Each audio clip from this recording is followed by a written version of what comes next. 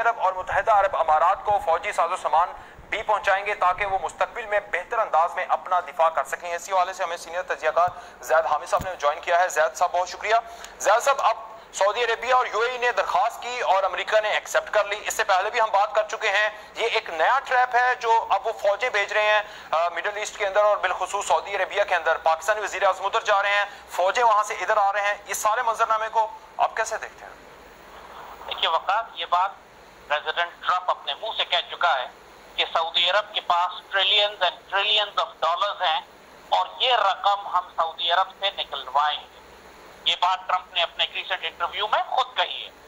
اور جو کچھ اس وقت یہ ہو رہا ہے، اس وقت امریکن فورسز کا سعودی عرب میں پہنچ جانا مکمل طور پر سعودی حکومت اب امریکن شکنجے میں آ جائے۔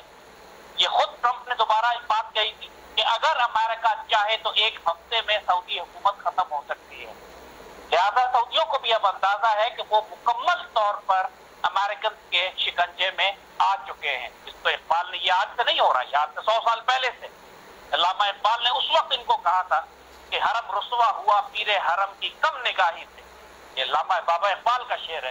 ہاشمی بیچ رہا ہے، آبرو دین مصطفیٰ۔ اس وقت کیونکہ ہاشمی تھے حجاز میں، اس لیے اقبال نے ان کو ہاشمی کہا تھا۔ اب یہ ہاشمی نہیں ہے، یہ بنیادی طور پر یہ پاکستان کے لیے ایک بہت بڑی شکست ہے، میں کہوں۔ کیونکہ ہمیشہ سے سعودی عرب کا دفاع جو تھا، وہ پاکستان کے پاس تھا۔ تو ہمارے اسٹریٹجک انٹرسٹ تھے وہاں پر۔ حجاز، مکہ اور مدینہ، مسجد نبی اور حرم شریف، اس کی حفاظت ہمارے پاس تھی۔ اور بیس لاکھ پاکستانی جو وہاں کام کرتے ہیں، اس کی وجہ سے پاکستان کا براہ راست ایک انوالومنٹ تھی حجاز کے ساتھ۔ اب حال یہ ہے کہ مسلم دنیا کے کسی مسئلے میں پاکستان کا کوئی کردار نہیں۔ چاہے افغانستان کے ایک پپٹ کٹپٹی حکومت ہو، وہ ہمیں ڈرا سکتی ہے، دھمکا سکتی ہے، روز ہمارے لوگ شہید کر رہی ہے باؤنڈری لائن تسلیم کرنے سے انکار کرتی ہے۔ ایران کا، مسلم دنیا کا کوئی تنازع ہو، ہمارا کوئی کردار نہیں ہے۔ ہم کشمیر پر مسلم دنیا کو اکٹھے نہیں کر سکے۔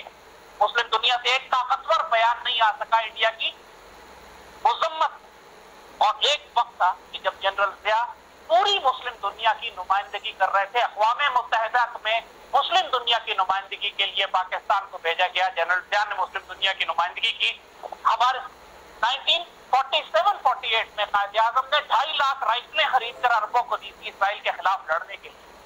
ساری پچھلی تمام دہائیوں میں ہم پوری عرب دنیا میں، مسلم دنیا میں، انڈونیشیا سے لے کر عرب دنیا تک، پاکستان قلعے کی حیثیت رکھتا تھا مسلم دنیا کے لیے۔ اس وقت ہم ہر جگہ سے نکالے جاتے ہیں۔ ہمارا کوئی اسٹریٹجک انٹرسٹ کوئی ملک ہماری مسلمان ملک ہماری بات سننے کو تیار نہیں ہے۔ صرف ترک ہمارا لحاظ کرتے ہماری عزت کرتے ہیں ہمارا لحاظ کرتے انہوں نے ہمارے ساتھ اچھے تعلقات رکھے ہوئے باقی عرب دنیا سے ہم صاف ہوتے ہیں۔ ہمارا کوئی رونب عرب دنیا میں نہیں رہے گا۔ اچھا۔ اور جس چیز کو یہ اپنی تاریخی کامیابی بتا رہے ہیں کہ جہاز دے دیا شہزادے نے ہمیں امریکہ جانے کے لیے۔ اس سے زیادہ ذلت رسوائی ہماری کیا ہو سکتی ہے کہ ہماری ڈپلومیسی اب اس لیول پر آ گئی ہے کہ ایک جہاز خراب میں مل گیا تو ہم اس کو اپنی سفارتی کامیابی سمجھتے ہیں۔ اچھا جس طرح سعودی فرمان ہوا نے کشمیر کے حوالے سے پاکستان کے ساتھ کھڑے ہونے کی بات کی ہے۔ وزیر اعظم عمران خان نے حرمین شریفین کی تحفظ کا انہیں بتایا ہے کہ ہم اس کے تحفظ کے لیے ہر حد تک جائیں گے۔ یہ چیزیں آپ نہیں سمجھتے کہ یہ بھی سٹرونگ ٹائی ہے؟ سر؟ دیکھیے پاکستان کسی صورت میں سعودی عرب کے ساتھ تعلقات خراب نہیں کرنا چاہے۔ لیکن ہم جس طرح ان کو عزت دیتے ہیں، اس طرح وہ ہمیں عزت نہیں دیتے۔ سعودی عرب نے کیا پریشر جو تعلقات ہیں سعودی عرب کے، جو سٹرینتھ ہے کیا اس نے مودی پہ کوئی پریشر ڈالا؟ اتنا ہی پریشر ڈالا کہ آپ کرفیو ہٹا دیں ایک دن کے لیے۔ اگر ایک دن کے لیے، ایک ہفتے کے لیے کرفیو نہیں ہٹوا سکا وہ شہزادہ، تو پھر آپ کون سی ڈپلومیٹک سپورٹ ایکسپیکٹ کر رہے ہیں سعودی عرب سے آپ کو بتایا کہ سعودی عرب اب مکمل طور پر اسرائیل اور امریکہ کی کنٹرول میں جا چکا ہے۔ یہ وہ دجال کی فورسز ہیں جن کے بارے میں عزیز شریف میں بتایا گیا تھا کہ الٹیمیٹلی حجاز پر آ جائیں گی، مدینے کے باہر تک پہنچ جائیں گی۔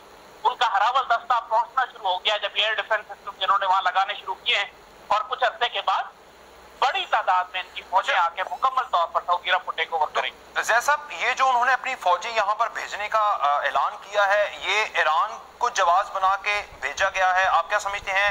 کیونکہ حوثی باغیوں کے جو سیاسی کونسل کے سربراہ ہیں مہدی المشاد، انہوں نے تو کہا ہے کہ ہم further ballistic missile drone attack Saudi Arabia پر نہیں کریں گے۔ حوثی باغی تو باز آ چکے ہیں۔ وہ آج انہوں نے اعلان کر دیا۔ تو اسی اسلام میں ڈونلڈ ٹرمپ کا اعلان کر دینا۔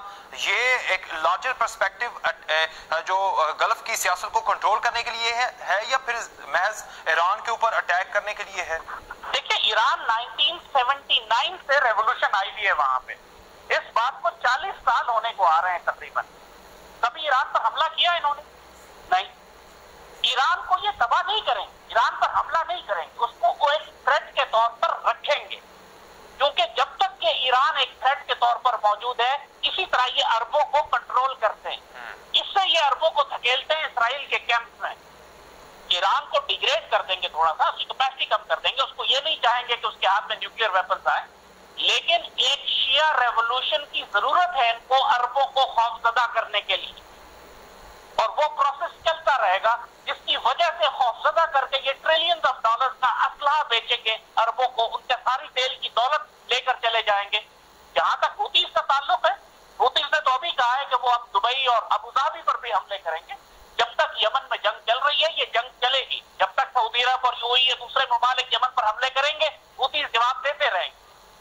لیکن ایران کا جیسے آپ کو کہا کہ تیس چالیس سال ہو گئے اس حکومت کھڑے، ایران پر حملہ تو کوئی نہیں کیا۔ انہوں نے ایران تباہ کر دیا، سیریا تباہ کر دیا، یمن تباہ کر دیا، لیبیا تباہ کر دیا، افغانستان تباہ کر دیا۔ اب پاکستان کو تباہ کرنے آ رہے ہیں۔ لیکن ایران اپنی جگہ کھڑا ہے۔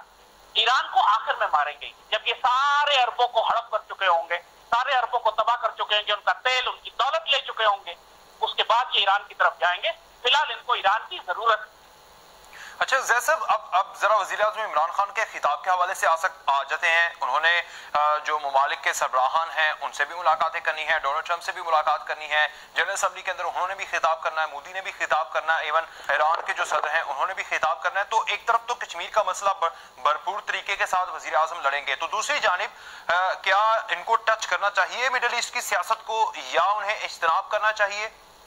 دیکھیے، دنیا کا ہر ملک اس وقت اپنی سرحدوں سے باہر جو واقعات ہو رہے ہیں، ان میں دخل دے رہا ہے۔ ٹرکی دے رہا ہے، ایران دے رہا ہے، حتیٰ کہ افغانستان جیسا ملک دے رہا ہے، انڈیا دے رہا ہے، عرب ممالک دے رہے ہیں، یو اے ای اور دبئی دے رہا ہے پورے خطے میں۔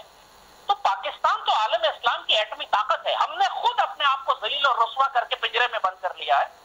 ورنہ یہ کہنا کہ صرف ہماری معیشت کمزور ہے، اس لیے دنیا میں ہمیں کوئی سنے گا نہیں۔ ہماری معیشت کمزور ہے، ہمارے ہتھیار اور ایٹم بم تو کمزور نہیں ہے۔ ہماری ملٹری تو کمزور نہیں ہے۔ اگر ہمارا ایک ایکسس اسٹیٹ پاور کا کمزور ہے تو دوسرے ایکسس اسٹیٹ پاور کے بہت مضبوط ہے ہمارے پاس۔ ہم تمام ڈفرنٹ ممالک کے ساتھ دفاعی معاہدے کر سکتے ہیں۔ ابھی ترکی نے کہا ہے کہ ہمیں ایٹمی ہتھیار کی ضرورت ہے کھول کے بات کریں۔ ہم ترکی کے ساتھ ایک ڈیفنس پیکٹ کرتے ہیں کہ ترکی کو ہم نیوکلیر امبریلا دیں گے۔ کوئی حملہ ترکی پہ ہوا تو پاکستان پہ حملہ تصور کیا جائے گا اور پاکستان ترکی کی حفاظت کرے گا۔ ترکی آپ کی ساری معاشی ضروریات پوری کر دے گا۔ اگر ہم اس کے ڈیفنس ضروریات دیکھ لیں اس طرح انٹرنیشنل ڈپلومیسی ہوتی ہے۔ اس طرح جی، ملک اپنی، اپنے، اپنی نیگوشیٹ کر کے اپنی پوزیشن بناتے ہیں عالمی طاقتوں کے درمیان۔ ہر چیز سے معیشت پہ کاؤنٹ نہیں کرتی۔ آپ معیشت ٹھیک کر سکتے ہیں اپنی دوسری ایکسس آف پاور کے ساتھ جو آپ کے پاس۔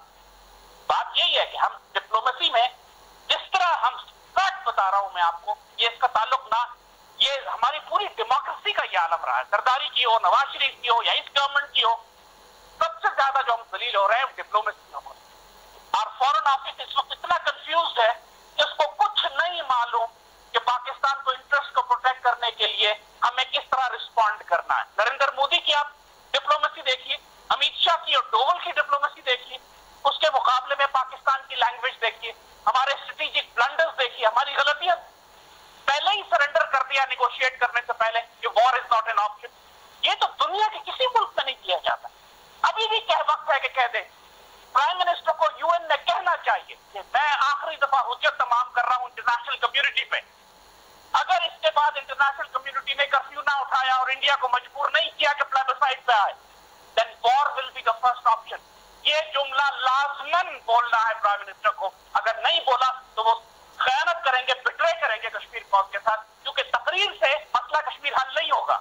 آپ کو تھریٹ دینا پڑے گا انٹرنیشنل کمیونٹی کو۔ آپ کو تھریٹ دینا پڑے گا انٹرنیشنل کمیونٹی کو۔ بہت شکریہ زید حامد تجزیہ کار، آپ ہمارے ساتھ موجود تھے، اپنی رائے سے میں آگاہ کر رہے تھے۔ یہ تھی آج کی ٹاپ سٹوری کل تک لیے اجازت